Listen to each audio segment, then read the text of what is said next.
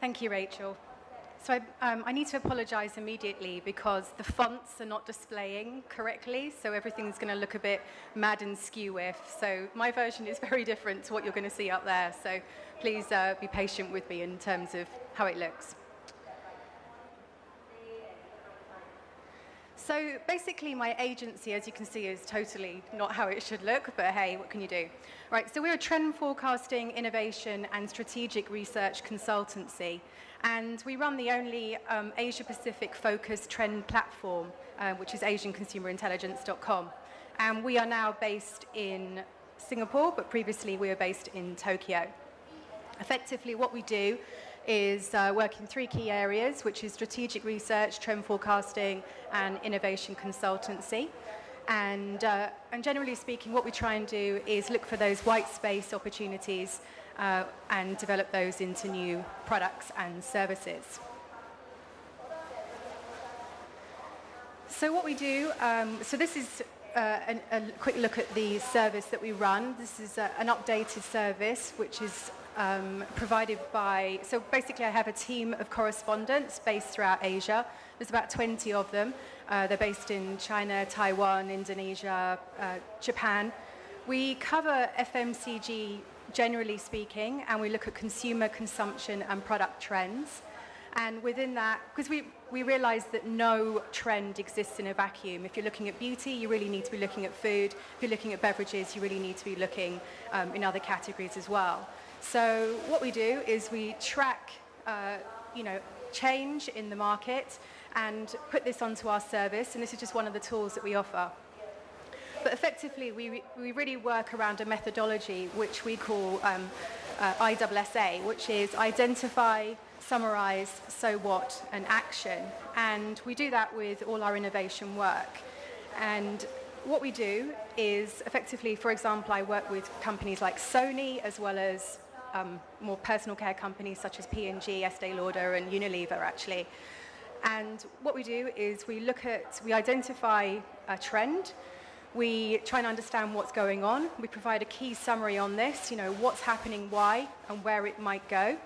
And really, what we're trying to do is apply a concept of a so what to everything we do. So we've seen some great presentations today, and we use sources like that. We look at those data, we look at those great products that we saw from before, but we kind of then put the lens on what we do and say, so what? Nice to know, but what do we do now? And that's really where our focus is. And then from there, where's the action on that? The next steps. And so we've developed a proprietary uh, trend ecosystem where we focus on meta, micro, product leaders, and intelligence.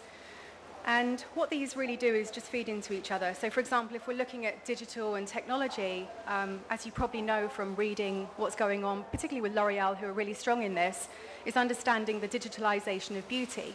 So again, it's that idea that if you're looking at the beauty category, you really should be looking um, what's happening in technology to see where beauty might go next. And so, as Rachel mentioned earlier, um, I'm also an associate fellow at uh, NTU, which is uh, Nanyang University in Singapore. And I've just been awarded a grant to study K-beauty. So I will start that research next year. So uh, hopefully that will come to something. Um, lots of people to interview and quite a few white papers to get out on that. So um, without further ado, I'll move on to what we do this. Okay, so so today's presentation is really looking at decoding K-beauty and um, and, it, and, it's really quite straightforward. What's happening now will probably influence what's happening in the future too. So there's no secrets there. So what I'm not going to do um, is insult your intelligence by talking about BB creams and information from about a decade ago. Um, you know, we started, when we started the agency um, a good 10 years ago, we were working at that time with, I think, Unilever, and we were, because obviously a lot of the K-beauty trends started in Japan, we were really trying to understand at that time what this meant and how this could evolve. And um, and then around five years after that, uh, a very big beauty cosmetics uh, brand manufacturer came to us and actually said, listen, we missed out on BB creams. We made a huge mistake. Uh, we will never make those kind of mistakes again. And, uh, and after that, we kind of really started to knuckle down and be quite serious about tracking what was happening in K-beauty. And so I think, you know, to answer the immediate question, you know, the future of K-beauty, it does have a future. And, um, and I think that's really primarily around the, right, the reason why is because Korean manufacturers now um, understand that new product development is at the heart of growth. And so that will be their future strategies. And I'll explain a little bit about that going forward. So the success drivers to K-beauty were really uh, a mixture of timing. I mean, you had, you know, 10 years ago, you had the rise of the Chinese consumer, um, a population of at least 120 million consumers who fall into the demographics typically associated with beauty consumption of some kind. Um, and who are actively seeking affordable beauty goods. And the emphasis is on affordable because that's what K-beauty products really offer. They offer something that um, seems to be quality and it's also highly accessible. Of course, there was uh, the leveraging on the soft culture which was actively and vigorously developed by the Korean government um, through the form of K-pop and K-dramas. And, um, and these models, these pop stars, these actresses, because they became so prevalent in the media and in social media, then became, then went on to set the beauty tone in Asia. So it kind of went from uh, you know, your typical Asian consumer was looking at Japan as an, a huge influence, and we want to look like, you know, a Japanese woman, to suddenly evolving to we want to look like a Korean woman. And so that's that kind of idea of the cultural anthropology um, that at the heart of really what's happening here and the trends behind this um, is that Asian women, quite frankly, just want flawless skin and, um, and they want that perfect canvas when they do use cosmetics and, skin, uh, and makeup afterwards. And, um, and what makes Asia perhaps so different to North America is that um, cosmetics are not the first measure. Um, you know, if, if, you're, if you're having a, a bad skin day or, or, in the US or in um, Europe, then we'll cover up with makeup. Whereas in the you know, Western, in Asian markets, women will start to, you know, kind of examine what did I eat, what did I drink, did I have a late night? There's something a little bit more holistic in the approach of, right, okay, how do I go about fixing this? So ultimately, it really is about skincare here, cosmetics second. And obviously, we see that with the sales figures that we've been shown earlier. And, uh, and obviously, there's the innate understanding that you know, flawless skin is associated with good health. And, and, health is really, I mean, I can't overestimate just how important it is in this part of the world. You know, when we talk about beauty, it really is tied into health and wellness. And I think it was Mintel earlier who talked about that. But it's, it's not a trend, it's a fact. Uh, in it's just, you know, part and parcel. And then, of course, you know, very fair white skin is associated with wealth. And if the aspiration is to be um, as wealthy and as middle class and as good as you can possibly be, then white skin goes with that. So really that's the kind of cultural drivers behind what's happening. So um, I'll start to address some of the trends that I think we're seeing here. So I've been in Asia for 20 years now, which is um, forever and a day, and, uh, and I've started off in Hong Kong. I moved to China, uh, I moved to Japan, moved to Singapore, and I'm actually now based between Singapore and Malaysia. So it's about my fifth country in Asia. And I've actually interviewed thousands of consumers and experts over this time. And I think probably one of the most outstanding thing that always comes to mind when you have to try and describe the so-called Asian consumer, which, by the way, there is no such thing because you have, you know, Japan and Mongolia at the top and, you know, Indonesia around the bottom and Papua New Guinea. Of course, you know, when you're trying to put a framework around this so-called mythical Asian consumer, um, it's quite difficult, but what you could say is that there's a, a couple of perhaps similarities in behavior.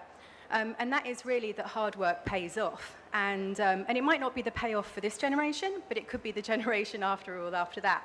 So as we see um, in places like particularly in Korea, bringing it back to Korea, um, a mum will work two to three jobs just to put her kid through school and give them the best education that they can afford, even to the detriment of themselves. They could be working cleaning jobs. So that same hard work really is applied, that ethic to hard work, I think is actually applied to skincare in this part of the world. People really want great skin. They'll go for it and they'll put the time and effort that's needed to do that. And I think one of the reasons that Korean brands have become so successful is that they know that. They know that this common and widespread belief um, is innate, and, uh, and they will then start to develop products that actually fit into this idea of a work it.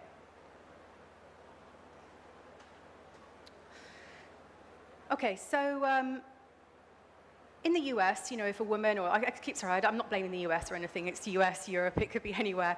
Um, you know, if a woman has, you know, an issue, acne, flaws, brown spots, she will turn to um, makeup. But in Asia, you know, if they're in Indonesia or if they're in Malaysia, they'll look at, you know, jamu, which is uh, herbal remedies or compresses, um, you know, to try and fix a solution or find a solution to fix a problem. I mean, I, you know, uh, it's not very politically correct to say, but I actually have a helper. She's from Indonesia. Often I open my fridge and find multitudes of pots um, with weird stuff inside. You know, it's all kind of natural ingredients that she's got that she's mixing together to um, solve various issues on her. And I don't think she's particularly unique with that behavior. And obviously in Northern Europe, we see that, you know, if there's an issue, let's fix it through essences and we fix that through masks in the more developed regions. And, um, and I think probably the key point um, to where we're going with Work It is that, you know, we've seen research in the past that says that Korean women can often put as many as 27 steps in or 10 steps. Um, I've done research in Japan where women will spend 40 to 60 minutes per night on their skincare routines. I mean, it's a phenomenal amount of time. Um, it's not actively spending it on, you know, 40 to 60 minutes. You know, they're not standing there in front of the mirror the entire time, but they're actually combining it with their, you know, the things they have to do. They'll, you know, start the skincare routine, the double cleanse, and so on and so forth, um, and then go and do a bit of housework or catch up on a favorite drama, put a face mask on. You know, there's kind of trends in um, Korea where people will actually, particularly in the winter when it's cold, skincare issues become particularly prevalent. People will put a, put a mask on and they'll kind of, in groups, do selfie mask photos or, you know, Wi-Fi groups and, um, and just really show that, you know, I'm, I'm not embarrassed, I've got my face mask on, I might look, you know, a bit foolish, but it shows that I care about my skin and so do my friends. So it becomes like a group activity. So it's this idea that, yes, I can put the effort in and I might get results. And in addition, you know, this idea that if you are used to hard work, then you don't mind adding additional steps into your routine. So for most women, you know, we talk about, I know in the morning I can barely get up, you know, the breakfast bowls are everywhere. Um, you know, the idea of going through 10 different steps before I even put on my cosmetics is, just sounds horrible.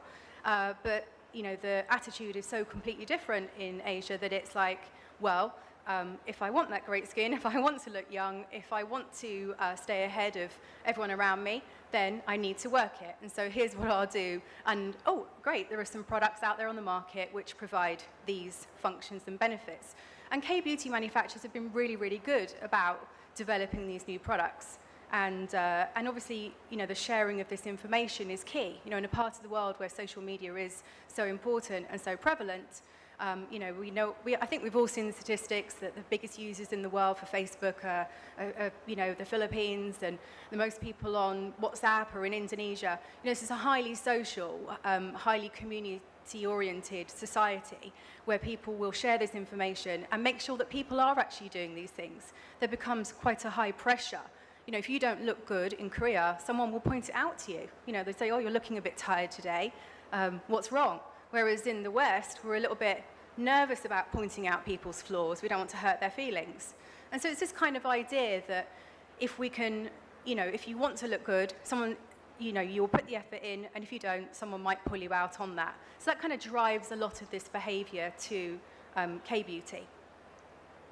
And so obviously, and also just, you know, the idea that the very specific problem-solving attitude has come from K-beauty manufacturers. You know, some of the most successful products on the market, um, and probably one way that Korean uh, K-beauty manufacturers made their mark was coming out with these products that were so super specific. You know, the, the strawberry pores or the strawberry nose. Um, there's always kind of fruit or cute connotations around typical problems. And, um, you know, and there's another one that's now, which is a huge hot seller, which is the lemon soda. So it's this idea of like, we can take three separate steps just to remove the blackheads from our nose. And people are prepared to do that. So that's kind of one area that will continue to evolve and that Western brands are kind of moving in the direction of multifunctional and time saving, which is key, but on the other hand, is missing the insight that women in this part of the world want to make the effort and are prepared to spend that time doing it. So I call this what it's not. The other, another name for it is uh, free from. So within the beauty category, uh, particularly Asian consumers, and I would say uh, very specifically those from Japan, Korea, Thailand, uh, Taiwan, you could characterize them as very natural-oriented markets. And they've really, really sought out um, products that do not include five key ingredients. I know that, I think it was Mintel or Euromonitor earlier said there was two. Really, we really think it's more like five. And, um, and so the five most commonly, or the, the naughty five, the most avoided components are minerals, surface active agents or surfactants, colorings, preservatives, and fragrances. So if you go onto any blog, you know, whether it's in Korean or it's in English or in Japanese or English, um, these are the naughty five, and these are the, you know, the ingredients, like it or not, that consumers are now actively avoiding. You know, we, we do know that from a manufacturing perspective, that obviously preservatives are key, but you have a consumer that is now looking for a product that doesn't contain them and then complains when their products don't last as long. So, you know, we have these uh, uh, paradoxical trends in action.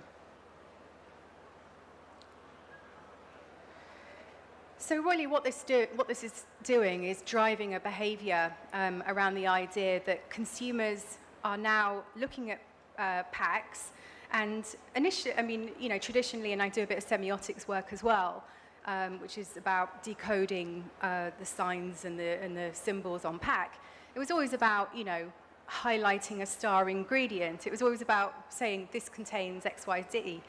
And now, and this has really come from the food industry and has shifted into cosmetics, it's, it's shifted into hair care, personal care, that consumers are now looking for what it doesn't contain. And that's kind of really changed how the dynamic of sales. So, you know, you've, given, you've got this great real estate on front of pack, and all of a sudden you're having to say what your product doesn't contain rather than pulling out and, you know, putting a halo around its key benefits. And so effectively, you know, the consumer is really looking for products that they can trust. And, um, and in this part of the world, you know, the, the, the side effects, um, you know, allergic reactions, or even if they're perceived or not, um, is something that people really talk about. If you go onto blogs and so on and so forth, people really are quite obsessed with how sensitive their skin is. Whether it's truly sensitive, again, is another thing entirely, but you feel in this part of the world that you almost have to play um, to the consumer needs in this, um, with regards to that.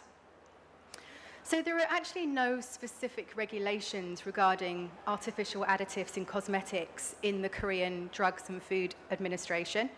And um, and, and, so, of course, what's happened is we started to see a ton of products, you know, market themselves as natural, uh, better for you. And again, this comes from food as well as um, skincare. Um, and of course, you know, a, lot of it is actually false claims. So we're seeing a lot of greenwashing going on in this part of the world. So it'll be interesting to see when this is addressed because um, at the moment there really isn't anything around it. But there is definitely a few brands which seem to be a little bit more honest. And if you're, you know, if you're in Seoul today and, uh, and you're in the key kind of shopping area where all the cosmetic brands are, there's actually a great brand called Isoi, which um, I don't know if it's up that one, up, up, on there, but you know, maybe it's mentioned another slide. Um, and it really stands for I'm so intelligent. And it really is the idea that they are trying to, um, you know, be as genuinely honest about what they put in their products um, as they really are, opposed to the other brands which say, oh, we don't contain this, but we have a laundry list of other products, of ingredients that do have this in. So here are some of the kind of examples I was talking about, and it really is about, uh, and these are actually all taken from the Sephora website. So it's very interesting that K-beauty in the West is being marketed as very much what it's not. So that's one of the key um, directions or strategies that K manufacturers have taken, that in the West, we really focus on the what it's not strategy. So evolving regimens. So I think this is probably another key trend um, when we talk about what's really happened and how um, K-beauty has grown so fast, is that K manufacturers are really geared up for churn. Um, they know that consumer needs change as often as the weather, quite literally. And, um, and in fact, that, you know, if you want to get this good skin, then it's actually no different to really going to the gym. You know, you don't get results from walking into the gym. You get results from doing stuff at the gym or going as frequently as possible. And, um, you know, so I think where the, what's really, really changed how, say, or changed the perception to K brands is that we now know a fancy brand or a designer label is no longer enough. Actually, what makes K-beauty so unique, that it's less brand driven and more about um, actual working on your skin with the products. So it's more about the, um, you know, how much time and effort I put into my skin with those products rather than the products themselves. So we've kind of shifted from that, the brand is everything, to actually it's about me and how much work I put in. Oh, good, there's a whole, you know, supermarket array of goods here that I can use to help me achieve my goal. So that's probably the primary difference between um, how Western brands market themselves and maybe Korean brands.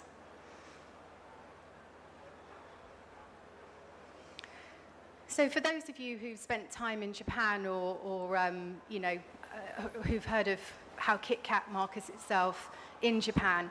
Um, I actually once did a project with Nestle, so I can say this with a little bit more confidence. So KitKat Japan actually has a remit to bring out 50 new KitKats every year. And that's always been the case. And there's an extraordinary amount of churn, and Coca-Cola Japan is the same. So these companies go into new product development with churn in mind. They know that the base is there, the fundamental ingredients, the packaging, all these things are, are relatively stable and they know where they're going. But we're just going to then change the format a bit, add a new word in, add a new ingredient, and keep doing this. And that's pretty much what K manufacturers have done. You know, if this doesn't sell, take it off the shelves, add on something else. I tell you what, I mean, if, you've had, if anyone in here has ever spent time in an Etude uh, house store, you'll know just how crazy that shop is.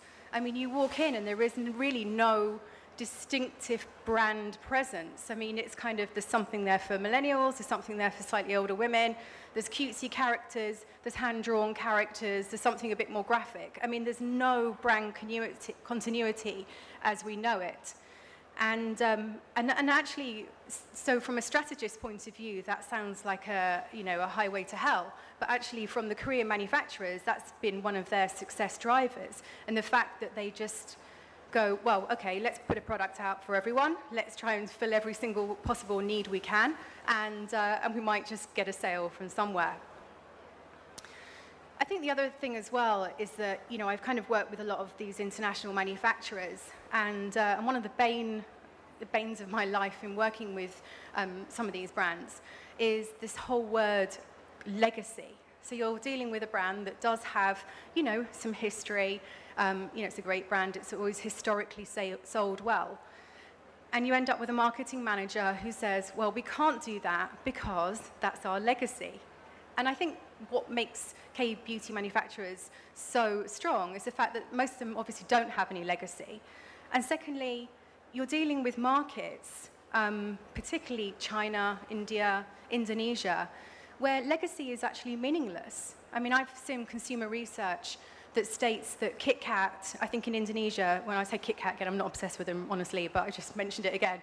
Um, that they thought that KitKat was actually an Indonesian brand because I've seen it on the shelves. They had no idea that this was actually imported and it was by a well-known, you know, Swiss manufacturer. So legacy is meaningless in developing markets. And, um, you know, and particularly if you think of that brand, you know, if we think of the Ponds, the Olays, and so on and so forth, you know, it's written in English. Um, they kind of all look really quite similar. And uh, they all hit the shelves around the same time. You know, 15 years ago, you couldn't find these products on the shelf. Now you can. And, uh, and they're not very distinctive for the average consumer in these countries. And, uh, and so from the Western, Western manufacturer perspective, you know, many of, them, many of them are still holding on to this idea of legacy when you know, K manufacturers have gone, well, to hell with legacy, it really doesn't matter. Let's bring out something new, let's delight, and inspire our consumers. And that's pretty much what beauty is. It's a high interest category that is about fun. And, uh, and a lot of brands in the West miss out on that. And I think, you know, what we've also really seen is that, you know, historically the major manufacturers really didn't evolve their offerings. I mean, they were very happy to bring out, you know, two types of moisturizer, day and night, and so on and so forth. And, uh, and it was only really when K-beauty kind of hit the scene and, uh, and the BB creams came to prominence that the actual MNCs thought, wow, we've, you know, we've missed something here.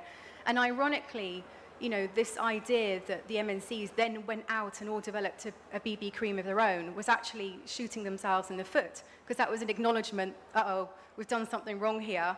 And so that was actually really when, you know, K-beauty got put on the map, is when they actually started following um, Korean manufacturers.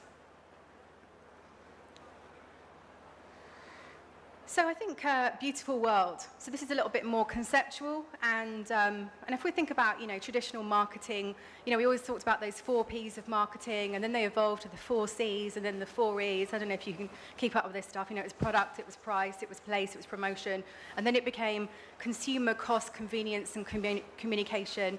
And now everyone's talking about experience everywhere, exchange, and evangelism. Um, but really, quite frankly, brands just need to be a little bit more, you know, omnipresent in the same way that consumers are online 24/7. And I think what's kind of interesting is how K manufacturers have really picked up on this idea that if you are a brand and you are online, like it or not, you start to de develop a personality. And, um, and you know, it's actually called anthrop anthropomorphize. So we start to put a personality onto non-animate things. You know, we've all done it with our cat, where we look at our cat and we say, oh, the cat looks really sad today, or the cat looks, oh, is she, you know, looking a bit angry. And really the cat's not doing anything than the cat usually does. So we've started to anthropomorphize brands to some degree, and we kind of look at K-beauty and we go, they're so cute, or they're so more millennial than the Western brands. And it's this idea that, you know, um, through the usage of you know, digital and social media that K-brands actually have through their various touch points, you know, whether it's through a duty-free store, um, you know, through the actual in-store ex uh, in-store experience, or even through packaging, all those touch points, um, there is actually a bit more personality behind them than your typical Western brand. And this obviously grows and this starts to develop a brand.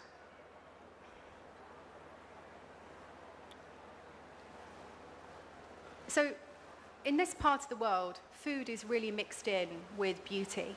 Um, you know, we start to see some of the brands, you know, uh, lipsticks, lip balms, and so on and so forth, go into the format of a macaron, or, or, you know, we start to see fragrances that have more gourmand notes, for example. There's that real kind of sense that, um, you know, food is related to beauty, and um, and it's just this idea that also beauty is also uh, entertainment. And I think, you know, when we think about historically going back to social cams, you know, it was just something that really started in Asia, where we'd have a vlogger, a video blogger, um, spend an hour literally applying her, you know, her makeup.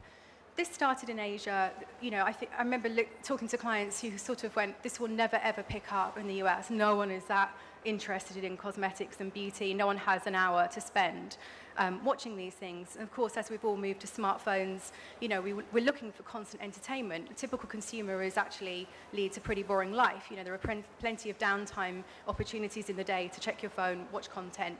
And, um, and the Korean brands have really responded to that and kind of created this whole idea about, you know, a beauty world. And some of the great examples that we're seeing and obviously, you know, this is now evolving how uh, brands globally are, are, going about marketing their products. Is uh, so Innisfree, when it opened its Disney store in um, Shanghai, basically, I mean, the fact that Innisfree has got a store at Disneyland in Shanghai says something anyway, this idea that entertainment and beauty are now completely um, rolled up, um, is that um, they basically put uh, they put some bikes into a space. Um, people are able to put on VR headsets, which transports them to Jeju. And, uh, and for those of you who haven't been to Jeju, it's a very small island. It really doesn't have a huge amount to offer. I kind of went there um, about 13 or 14 years ago. And, but what's really interesting is how this place has been marketed as this um, utopian beauty place where it's all green fields and it's absolutely, you know, fresh and natural and stunning, and the provenance of where your ingredients are being grown is very much demonstrated and communicated with the brands. You know, this, um, you know, this blade of uh, green tea has been carefully picked and, and carefully put into your product, and you're going to put it on your skin, and you're going to just look amazing. It's really, really coming across quite well and, uh, and consumers are actively buying into it. And obviously, the reason you know that consumers in this part of the world are looking for that is step outside. I mean, you know, the, the pollution, um, climate change is having a huge impact. You, Delhi right now, people can't even go outside of their homes because the pollution is so bad. Um, routinely, there are days in Beijing and Shanghai and other big cities in um, China where it's just too toxic to go outside. So as a consumer, you feel quite powerless. I mean, how do you, you know, deal with this? And so obviously, you know, this idea that you can use a product and, uh, and go to a store and evolve yourself into this beauty world actually is, is, you know, it's actually genius and it's actually far more than most Western brands are doing. You know, they've referenced natural, but that's it. They leave it at the door. You know, this is a natural product. It's got some natural ingredients. They don't really try and invoke this whole beauty world. And on top of that, they don't really bring this whole digital element in.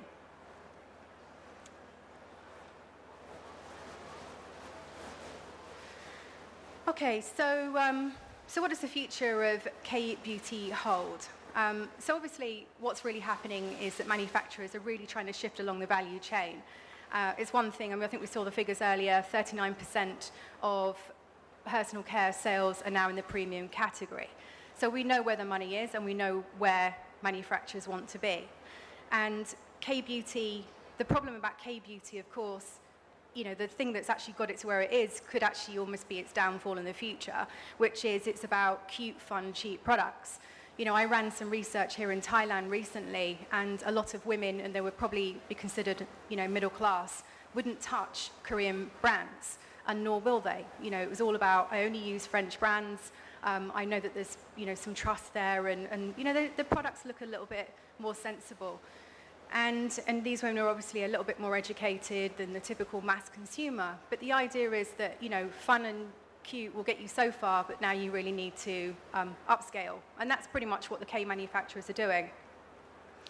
And obviously another side to it is that with on the private label side, if you go into any Watsons or Guardian or Sasa in the region, and that's you know everywhere from Singapore, Malaysia, um, through to China and Hong Kong, you'll see you know huge boards and marketing saying this is a K-beauty product. So you almost have this kind of downgrading of K-beauty when you have this kind of cheap and nasty product that everyone sampled and left it on the side. And meanwhile, you have the kind of, you know, the smart-looking French brands over here. And um, so obviously, you know, from the Korean manufacturer's perspective, yeah, how do we innovate? How do we move along this value chain?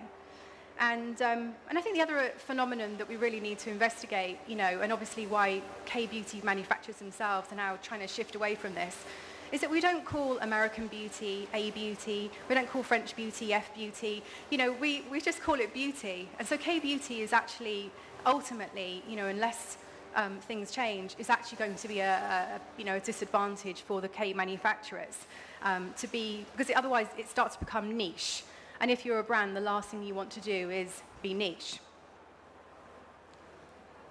So here are some um, areas that I feel are probably um, growth opportunities. And I'm, again, apologies, my, my deck was beautiful and it's just an absolute mess on here. So, um, so obviously, you know, halal is growing, and, um, but it's, it's more than halal. It's about really understanding that people want to understand the origins of ingredients, which is what halal certification gives. So there's, you know, there's trends in the UK and Taiwan where people are actively seeking halal products because they know that they haven't been tainted in some way. So that's, you know, it's not just a, uh, a Muslim market.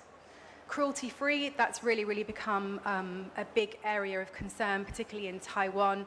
Um, a lot of Taiwanese millennials are really actively seeking products which claim to be cruelty-free. Genuinely natural, yeah, you know, um, how do we prove, how do we show that this is not just greenwashing? Um, the shift from brightening to whitening, you know, this whole idea that, yeah, whitening was big, but people are also evolving to understand that whitening does look a little bit artificial and chalky, and people are looking for something that's a bit more rosy and natural, obviously, that's still light. Um, you know, the reality is, is that Japan has the most aged society in the world. Uh, China is moving very quickly behind it. Korea, I think the average age there is about 43 or something. You know, we are living, Northeast Asia is full of old people. And effectively, you know, they are looking for products which solve their issues. Um, and, you know, if you talk to consumers in this part of the world, literally brown spots are the devil. I mean, you know, you can't possibly, no conversation happens without them referencing brown spots. So products that really focus in and hone on that um, will be good. Obviously, multifunctional cosmetics that do repair, you know, this kind of idea that I can put on, you know, some, uh, an eyeliner and it's actually going to kind of um, help some of my wrinkles is obviously going to be welcome in the future. Responsive um, cosmetics, this is really something that I might want to share with you after. Um, but it's this highly, you know, it's a little bit conceptual, but this idea that, you know, you can use products and skincare that will adapt to different environments throughout your day, which is obviously a huge concern in some parts of Asia where you literally go from aircon 20 degrees outside to 30 degrees and back again um, very quickly, and it has a, a, an adverse reaction to your skin and hair. And, um, and this idea that, yeah, experiential digital marketing and using that idea that this is a highly digital, mobile part of the world. Most people in this part of the world are mobile first. Most people's experience of going online is through a mobile device, not a PC. So really understanding that how do you bring cosmetics, skincare into your mobile device is probably the future. Right, that's, uh, that's me done. So if there's any questions, please come to me um, at the end. But that's it. Thank you very much.